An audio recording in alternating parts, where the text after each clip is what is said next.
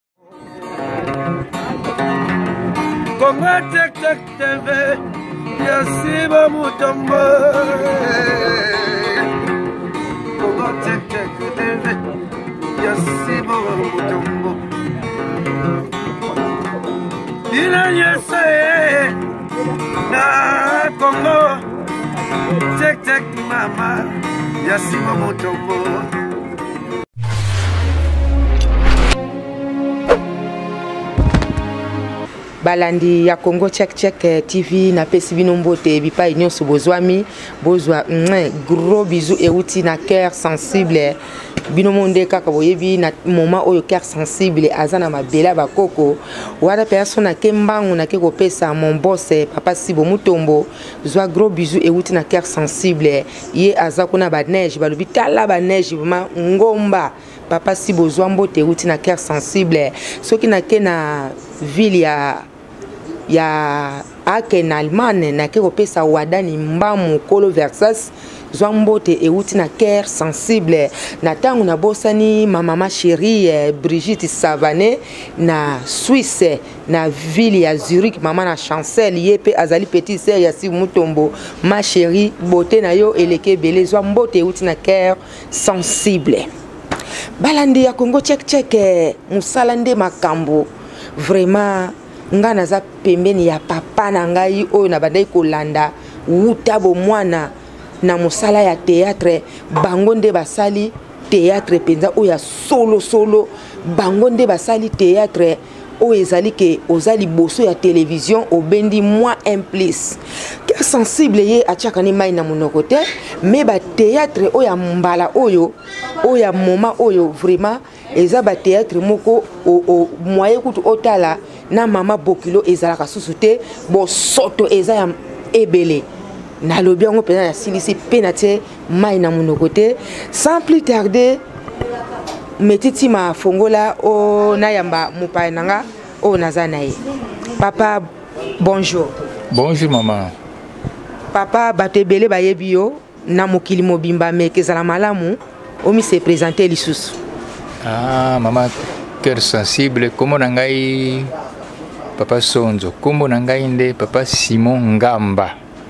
wana soki obeyi ngai na balabala ah, wana motu moko ayebi vraiment ngai kitoko kitoko papa simon ngamba sonzo merci bomoni bino nyonso moto abungi mpenza papa sonzo aza te loba peut-être bana oyo babotami na 2000 bana oyo ya mike wana oyo babotami mpe na poto me aa bayebi papa sonzo me papa sonzo vraiment nasepeli mingi kozala mpenza liboso na yo lelo ezali deuxième fois eh, premier jour ezalaki na ebembe ya mwana masasi vraiment nga moko mpenza moto nayaki koluka yo mpo namona yo puiske nasepelaka na bino bon papa na mosala na bino ndenge bozosala boye ndenge bosala bosalaka nayebi te so botika mpo omonana mpe rare badifficulté nini oyo oza nango na pour le moment bon badifficulté ya quel genre ya côté santé ou bien côté ya mosala côté ya mosala côté santé tokokende après bon mosala ezali na yango mais mikolo oyo tobandi kotourne vraiment te mpo tozalaki na kamwa baproblème moko ya problème financier toza vraiment na sponsor te toselebrouillaka biso moko na rtnc apesa biso bamoyen oyebi ezali troupe ya l'état bamoyen mingi vraiment ezalaka vraiment mingi mingi te mais je crois que dès le mois de mars ou février koprépare baactivité vraiment à 100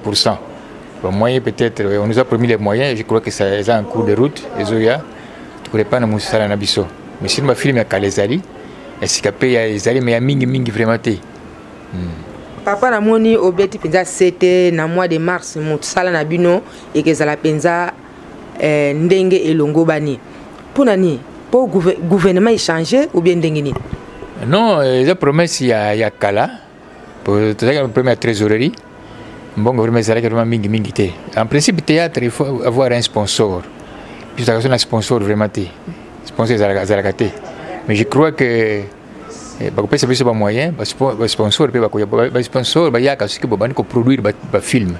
vraiment basponsor baye soki bazoproduire te bakoya te eh, espérons que d'ici là bakoya po baza vraiment ebele bazosenga mais je crois que d'ici là bakokoma oh, papa na ngai bon namonaki na ntango ya kala ntango na bino bobandaki mpenza kosala bateatre oyo babengaki teatre de chez nous de chez nous au congo ça veut dire ndenge wana non Oui, c'est comme ça. Eh, théâtre de chez nous. Mais ce qu'on a comment comment on est comment est théâtre de, de, de là-bas, de quelqu'un de, de, de l'autre pays. Mais et ça le oya bino. Pourquoi na moment oyo ezalaka susu ndenge wana te est ce que boyedikaki bano baye te ou bien baza matoyi mangongi bon d'abord nabetaka mwa sete moke sikoyo toza vraiment na domaine ya théâtre lisusu te tokota na filme omoni filme eza différent na théâtre omoni filme ekoma technologie lelo kare kobaluka bato bakufi me bakufi na bango te eza kaka technologie moderne théâtre vraiment comme tel ezalaka vraiment lisusu te ndenge ya karte banda kosala théâtre filme wana ezoleka na télévision eza différent tokoma na domaine ya filme sikoyo kamwa eh, progrès eza koyaka moke moke moke moke moke bon na kala tozalaka na metteur en scène na biso mpe ya sonama aza lisusu te papa citenge nsana ayali moto moko ayekolaki kokoma scénario ya théâtre na classe ayekolaka mise en scène na classe réalisation ayekolaka na classe bon bamosusu bayekolaka yango vraiment te ce qui fait qu'à l'époque c'était vraiment différent soki asali scénario na ye asali mise en scène asali réalisation omonaka c'est vraiment différent même en afrique centrale awa pays nzinganzinga awa bacomprendre matatu wana azalaki vraiment génie mais ye mpe akenda na ye me totikala mpe biso moko kama touche wana mpe ezali to se débrouillaka très très bien kaka ndenge moyoti koloba wana bamoyen nde ya financier vraimen ezangi soki tozwi sponsor ya bien tokotourne bafilme ya kitoko kitoko kitoko kitoko vraiment hmm, merci papa balandi yo na bato ya congo check check eh, mpe mokili mobimba ngai eh, problème na ngai ezali mpo nazalaka moto mosusu na osala baémission nazalaka vraimen na baméchant problème na ngai ezali ntango bino bosalaki baémission eh, bosalaki batéâtre bosalaki mpenza na ndenge ke boza koedike masse mutu mutu afandi boye na télévision abendi un plus mais sikoyo bosoto eleki ezala bato ya poto basepelaka susu kotala bateatre na bana te pourkui bana oyo ya sikoyo balandi bino te ah mama kere sensible vraiment oza vraiment sensible wana sikoyo ezali na bwaki mpe libanga mpe epai na bino bino botunaka bamituna bajournaliste baproducteur baproductrice e, bino moko botunaka bango bodikaka mpe bango mpo ngai peut-être so nabengi petit ke moni théâtre théâtre elekaki la fois passé ezalaki bien te ba vieux peut-être aza contre ngai aza contre succès na ngai wana nde mosala na bino okotuna bango invité bango otuni théâtre mona talaki boye nasepelaka nango te te makalingi oloba nini ça ne signifie vraiment rien c'est quoi ça wana eza mosala na bino ngai mpe nabwakeli bino biso mpe oyo balandaka biso mpe bazali soki oteyi ye oyika peti asepelaki vraiment mingimingi te mona misusu mpe soki otuni ye mona vie wana bango baza bato ya kala aza contre succès na ngai alors c'est un peu difficile wana osala mosala na bino oapproche bango otuni mpe bango que par rapport ya bino na ba vieux basalaka kala eza différent qu'est-ce qui se passe wana eza na mosala na bino nga mpe nabwakeli bino mpe koza cœur sensible ekoza mpe sensible bokutana mpe otuna mpe batuni mpe bango merci papa na ngai donc nakokutana na bango bango il fallait balanda nde bino mais bango bazoloba ke wana eza makambo ya bato ya kala bango nde babebe bon papa toleki mwa moke ndenge nini sante bon sante ça va par la grâce de dieu toza malamu sikobatela biso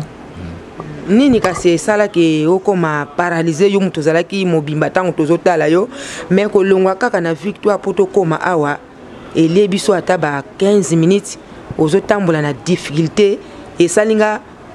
moyen na manifeste ezalaki te mpo okomona me kotala yo boye esali nga mpenza shok ozwaki mpasi yango eh, na lolenge nini eh, bo mpasi oyo mama sensible je crois que olandaki yango eh, c'est depuis 1992 tomaka paralysie de membre inférieur mais il me semble que na mboka mbongo ezalaki te mpona kofaire soine nga à l'extérieur du pays j'ai fait presque 11 mois na ndako je faisais tout sur place ezalaki mema mpasi donc c'est pas la grâce de dieu naza nano eza lisusu vivant bila naza lisusu te mais nzambe asalaki grâce kosenga na hôpital après 11 mois boopere ngai omonaka nazotambola na kane na ngai oyo yo moto apoto moto ayelaki ngai donc baza sensible oza yo moko te baza mpe ebele donc tapoto moto ayelaki ngai kane na ngai wana natambolaka nango seulement ezwaki retard na traitement si on avait intervenu bien avant peut-être nakomaki boye te mais ezalaki ma retard malade ekoti ekoti ronge ronge ronge ronge ronge bamoyen ezalaki te à l'époque en 92 yebi c'était encore que l'époque soki sikoyo peut-être que bato motema malamu aza malamu bato basensibilité baza bien baza ebele lokola yo mbele nakomaki boye te epesi mpasi mpe mawa papa na moma wana soki azalaki na mbongo bie possibilité ezalaki soki bato ya sensible bazalaki mbele akomaki na état oyo te mais jamais et trop tard baoyo tokoaide bapapa eh, bapapa na biso oyo basaleli basali théâtre na mboka na biso tosepelaki ezali ngai na yo moto ozotala ngai vraiment esali mpasi koleka ngai nazalaka kaka na makambo ya méchant ezalaki série moko boye nayebi te soki sorodiongo nini nkadia mpemba nini moto ya liboma nini aanonsaki ke papa sonzo akufi vraiment nazalaki na méchant nzoka ezalaki nango mensonge pourquoi anonsaki ndenge wana bon d'abord euh, soki bazalaki un peu distrait ezalaki le 1er avril ezalaki poisson d'avril mais de toutes les façons eza mpe malamu te omoni bino bato ba cœur sensible moi yoki papa sondo akufi okopike crise toza na bandeko bacamarade baza ebele ntango oyebisi ye ke papa sondo akufi ndeko na yango opike crise eza eza malamu mingi te wana eza peut-être ko se moquer ko se jouer na vie ya mutu eza vraiment malamu mingi te nasepelaki nango mingi te mais moi mi j'ai compris que bon eza poisson d'avril peut-être bon asalaki yango ndenge wana yebi te idée nezaki nini eh, c'est ça bandeko bacongolais boyoki ndenge papa sonzo alobi bato oyo bapesaka basango ya mabe bazalaka bato ya bazalaka bacamerounde te bazalaka mpe balima te babelge te ezalaka kaka biso moko bacongolais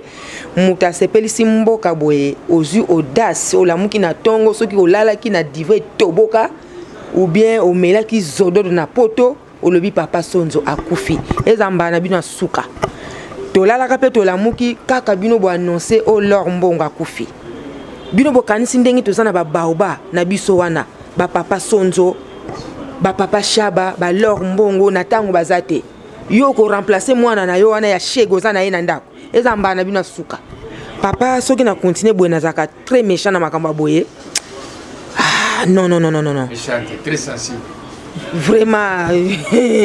mais papa eloko mpenza nayeli awa eza na ndeko mama moko boye azalaki mpe sensible eh, komona yo na na na nzela ya whatsapp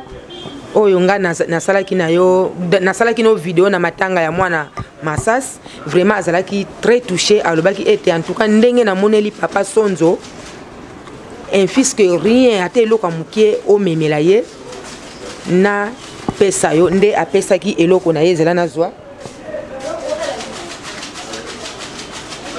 eh, mama sara na france olobaki nakutana na papa na biso sonzo napesa ye 30 dollars mpo ngai nayebisaki yo nayebi ke ngai nazalaka cœur sensible eh. soki moto opesi ngai ata 10 milliard na yo nasomba lopangu nakende kosomba lopangu avec na bafacture nde yango nalobaki mama sara nakokutana na papa na biso sonzo napesa na remettre mbongo na 30 dollars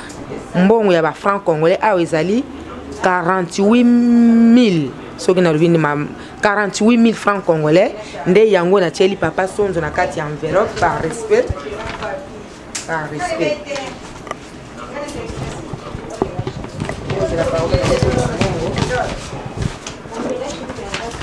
papa oyo ezali mbongo euti na mama sara na france alobaki nakomisela yo merci beaucoup mama sara na mboka france epai na biso balobaka eloko ya moke ekotaka na lisu ya monene te ce n'est pas le montant qui compte mais cet élan là d'amour ce n'est pas n'importe qui moto apesa yo ata 5 dollars ata 2 dollars ezalaka n'importe qui te fo nzambe atouche ye po apesa yo je sais que prochainement soki ezala mingi mpe nakozala mpe kozwa eloko moko te nzambe apambola yo abakisa osensible opesi ngai merci beaucoup mama sara mama sara omoni euh, papa sonzo azwi montant na ye vraimen otindaki vraiment asepeli makasi alobi eza monta te moto ezokonte geste oyo osali yango bandeko bakongole vraiment tosunga bapapa na biso oyo basepelisi biso na bamama ya biso baza telema ebele oyo basepelisi biso na bagroupe salongo me papa namoni soki mbongo mpenza ya mingi ezali nayebi te wana ezali motuna babanda kosala oyo bamassage babengaka kokende na, na kine est ce que okozonga kotambola mwa malamu bon selon bamédecin mosusu balobaka ezali kaka basekele ya kuna azwaki tellement j'étais soigné en retard eza basekele mais peut-être que avec mpona bamassage ekoki vraiment koredresse ngai te balobaka ke plus tard soki nzambe libaku ya monene ezali si moto akomema soit na afrique du sud bien na poto bakosala susu quelque chose babakisa quelque chose mpo kotamba ekoma makambo ya moke bien hmm. boyoki ndenge alobi soki akei na, eh, na bapoto na baafrique du sud akokoma kotambola un peu bien nayebi mpe ndeko mobali moko aza moyembi monene frère na biso ikebali ikebali aza na allemagne aza mpe na handicap azalaki na handicap ya makasi mai ntango aye na allemagne badressaki ye quand même sikoyo akoma sava ndenge mpe papa sonzo soki ake bamboka ba mindele kuna vraiment soki balakisi ndenge azotambola ekesunga yo te okotangisa mai na miso nayebi te soki akopermettre bakozwa ye mwa moke nayebi te soki akolinga mais ekesunga e, e, e, ekesunga yo te nde yango papa eh, tokomi na biso vraiment na, na, na suka yo ovandi wapi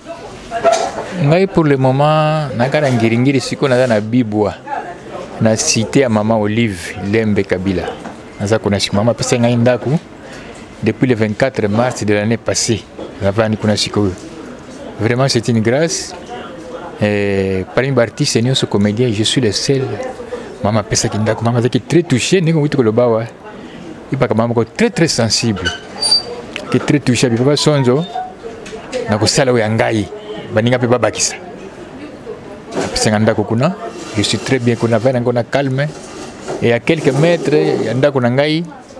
atongi mpe hôpital ya monene sikoyo soki ebandi traitement na ngai banozwa yango kaka kuna nasepelaki mingi vraimen aza kuna libota na ngai mobimba c'est très bien malgré batransport ezaka mwa mpasi mais l'essentiel sur le plan social nazwaki déjà ndako na ngai naza kuna tis pour le moment vraiment balandi ya congo check check tv ngamo mpe esepelisi ngai ata namona na ngai ke bapesa ye ndako na bibwa epai ya mama na biso olive lembe quand même na ntango moto asali likambo ya malamu fo kofelicite puiske congolais abosanaka na miniti moke bainjure nde elekaka ebele likambo oyo moto asali ya malamu bobafu omona congolais abafu yango ce ne pas bien bapesa ye place kitoko na bibwa ndako mpenza ya bien vraiment papa sonzo ndenge bomoni kaka wana tokomi na biso vraimen na suka soki ozali ndako wana nazwaki nakuta nyonso na ndako memaki basani na ngai na bilamba na ngai je tout namonaki na kati ya ndako nyonso tout bambeto bamatela bateleviseur cuisinière donc tout tout était complet memaki basani na ngai na bilamba na ngai donc vraiment maman eza très sensible lokola mpe yo ozalaka sensible Ah. merci beaucoup papa sonzo akutaki nyonso na ndako ndenge condition kaka oyo ovandaka nango na poto ndenge ye avandaka mais le problème ezali ete bapesaki ye ndako mais bapesaki capital ya kolia te kolia ezali ke ye moko fo alukaka na batransport papa na biso mpe mpo azala na voiture ezosenga nango mpenza eloko ya monene te bakongole toza ebele mpe toza na mbongo ebele wana papa tokomi vraimen na suka soki ozali na bato mibale misato oyo okoki kobwaka na mboka libanda soit awa na rdc ah bon ya eh, liboso napesi mama marie olive lembe kabila mbote mpo na geste asalaki geste monene bato bafelisitaka ye mingi vraiment bon napesi ye mbote na bana na ngai nabengaka marie jeanne aza na suisse mama mama pauline aza na suisse mama leontine na lipati baza na france papa patrice aza na états-unis d'amérique baza telema ebele moi na ntango ya kongo eza te Et donc, on est Kokidango, merci beaucoup. nga mpe na remercie ndeko kolo bisika oyo papa na biso gérard gérard mbo tumba ye, ye aza a na victoire matonge tosali mpenza na place nde nde epai ba papa sonzo bayaka na remercie susu metiti malibogar ye wana na nsima camera soki nabosani mpenza petite sere na ngai naza ingrate do la douceur ye wana mpe azotala ngai vraiment mwasi kitoko na mabele ya bakoko vraiment bandeko nyonso oyo bokotala video oyo vraiment nasuki wana bosala infis que rien na bandeko mosusu tokolakisa kaka na bililingi cœur sensible alingaka likambo nyonso ezala pole pole pole montant oyo bapesaki yango nde topesaka check